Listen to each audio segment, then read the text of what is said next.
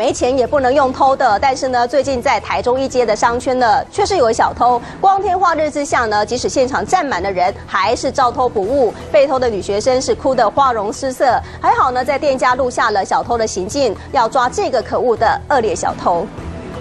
这是什么社会？光天化日下，即使饮料店前站满了人群，小偷一样没在怕，拿着小小的铁丝，照样撬开机车偷走包包。这个先生就马上靠近他的机车，然后用了一把那个好像万能的钥匙哈，把它撬开一座。就是他，这名年约四十几岁的中年男子，一边抽着烟，一边东张西望。从观察目标到下手行窃，整个犯案过程完全不到一分钟。